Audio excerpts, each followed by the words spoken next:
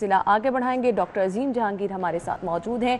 Skin की हिफाजत किस तरह से मुमकिन है मौसम में ये तो आपको बता दें। लेकिन डॉक्टर साहब बहुत सारे लोग डिफरेंट वेबसाइट वेबसाइट यूज़ करके तो फिर इलाज मुमकिन बनाते हैं। क्या ये प्रैक्टिस ठीक है? देखें दो चीज़ें जो हैं वो बड़ी इंटरेस्टिंग है जो कि हमें बड़ा मोहतात रहना पड़ेगा हम्म। ख़ास तौर पे पाकिस्तान जैसे मुल्क में जिसमें कि अभी लॉज को बनते हुए कुछ देर लगेगी हम्म। लेकिन जो थोड़े ऐसे बिहेवियर हैं जिसमें फ्रॉडुलेंट बिहेवियर आ जाते हम्म, हैं हम्म। बहुत सारी वेबसाइट्स में इसमें इन्वॉल्व होती हैं लोग हम्म। भी इन्वॉल्व होते हैं। उसमें एक ये है कि अपने डॉक्टर का ये तयन करना कि किस डॉक्टर के पास जाना है। कुछ ऐसी वेबसाइट्स खुल गई हैं जो कि पैसे लेती हैं डॉक्टर्स से हाँ। पेशेंट्स को किसी घेर वेर के वहाँ तक पहुँचाने तक। अच्छा। तो वो उसका ये होता है कि जब आप बहुत सारे एडवर्टीजमेंट देखते हैं और कुछ वेबसाइट्स ऐसी जिनके पास तमाम तमाम ही दुनिया के डॉक्टर्स मौजूद हैं ये कैसे मौजूद हो सकता है? तो वो डॉक्टर्स के पास आते हैं और कहते हैं, जी, हम 25 परसेंट आपको, हम कमीशन आप हमें दें और हम आप तक मरीज़ पहुंचाएँगे हम्म। आप उनकी वेबसाइट पे जाते हैं आप अपॉइंटमेंट लेते हैं अब उस डॉक्टर का आपको ना क्वालिफिकेशन का पता है ना आपको ये पता है कि वो कितना अच्छा डॉक्टर है कितना बुरा डॉक्टर है, है लेकिन उनको जो उन वेबसाइट्स को जो डॉक्टर्स पैसे देने के लिए तैयार होंगे वो उन्हीं को सिर्फ़ प्रमोट करेंगे। बिल्कुल ऐसे दूसरे डॉक्टर्स को तो नहीं करेंगे। तो इसका एक आसान तरीन तो हल ये होता है कि आप अपने डॉक्टर साहब से पूछ लें उनसे पूछ लें अब अगर कोई डॉक्टर ये इसको डिनाई करे तो मैं नहीं कह सकता कि जी आपको कितने पैसे मिल रहे हैं इस वेबसाइट से। हम्म।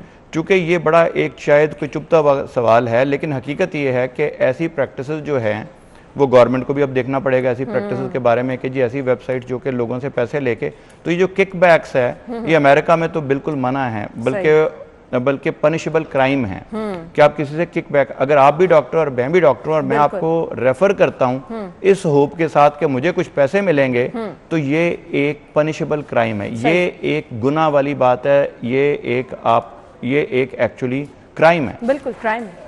अगर मैं आपको सिर्फ़ इसलिए रेफर कर रहा हूँ क्योंकि मैं समझता हूँ कि आप अच्छे डॉक्टर हैं लेकिन उसके बहुत अच्छा इलाज कर और इलाज करेंगे लेकिन उसमें मुझे किसी पैसों का लालच हम्म, नहीं है हम्म, हम्म। तो ये एक बड़ी अच्छी बात है। बिल्कुल बिल्कुल। बहुत सारी ऐसी जिस तरह गूगल है गूगल अब इतनी बड़ी कंपनी है कि अगर वो कहीं ऐड किसी का देती है तो ऊपर कहती है कि ये एडवर्टीजमेंट है इसलिए मोहतात रहें। लिटरली वहाँ पे लिखा होता है कि ये ऐड है।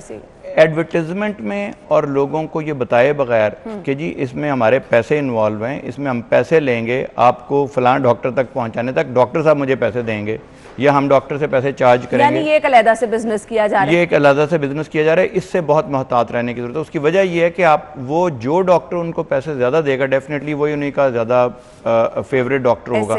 तो डॉक्टर की क्वालिफिकेशन चेक करें। दूसरा ये कि डॉक्टर को ये क्वालिफिकेशन को आपको चेक करने का तरीका क्या है? हम्म। सिर्फ़ आपने ये नहीं आपने पता करना कि डॉक्टर साहब किस चीज़ के स्पेशलिस्ट हैं क्या उनके पास डिग्री है हम्म। सबसे इंपॉर्टेंट चीज़ है कि वो कितने अरसे से ये काम कर रहे हैं। बिल्कुल हमारे बहुत सारा ज़र मुबादला हमारे कोई दुबई में ऐसी कंपनीज़ बैठी हैं जो कि एक या दो दिन का कोर्स हम्म, करवाती हैं जिसमें वो आपको बोटॉक्स भी सिखा देंगे आपको लेजर भी सिखा देंगे अच्छा। आपको तीन दिनों में तो आपका कोई कैमरामैन भी तैयार नहीं हो सकता। अगर कोई आप किसी को कहें आपके पास कोई है जी मैं तीन दिन का मैंने जी दो दिन का कोर्स किया और मैं कैमरा के साथ आपकी शूटिंग कर सकता हूँ। बिल्कुल होती है।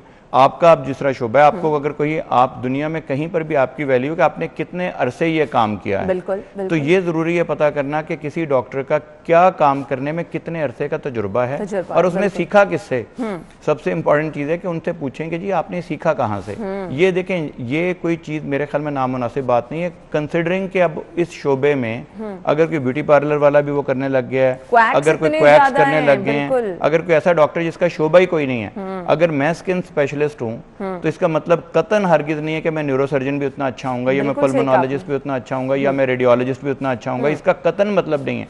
मेरे इलम में और एक आम बंदे के इलम में बहुत कम फ़र्क होगा जिस अगर वो मेरा शोभा नहीं है। हम्म।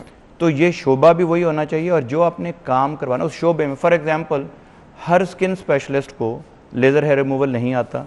हर स्किन स्पेशलिस्ट को बोटॉक्स नहीं आता हम्म। क्योंकि उनका वो उनका इंटरेस्ट नहीं है। उसके लिए अमेरिका में हम अलग से एक पोस्ट ग्रेजुएट एक दो तीन साल का एक अलग से आगे आप फेलोशिप करते हैं। ठीक है। तो पहले आप स्पेशलिस्ट एक चीज़ के बनते हैं फिर अगर आपने उसकी किसी चीज़ का मजीद स्पेशलाइज करना है तो उसमें आपको स्पेशलाइज करना पड़ता है। सही। तो उसके लिए बड़ी ज़रूरी है कि आप मुस्तन डॉक्टर को ढूंढना ज़ाहिर है थोड़ा सा मुश्किल है। हम्म, हम्म। लेकिन जब आप इतनी कोशिश करते हैं अपनी सुजुकी से लेके और मर्सिडीज तक गाड़ी लेने के लिए जब आप इतनी इतना आप तहकीक करते हैं कि कौन सा कपड़ा अच्छा है कौन सी लिपस्टिक अच्छी है कौन सी हम्म। घड़ी अच्छी है तो अपने डॉक्टर के बारे में तहकीक करना आपका राइट है और करनी भी चाहिए और बहुत ज़रूरी है। उसके लिए आप किसी फ़र्ज़ करें आपके अच्छे कोई ऐसे डॉक्टर हैं जो कि फ़र्ज़ करें वो हैं आपके लंग्स के स्पेशलिस्ट बड़े अच्छे हैं और मुस्तनद हैं। आप उनसे रिकमेंडेशन लें कि जी आपके ख्याल में स्किन स्पेशलिस्ट कौन सा अच्छा है?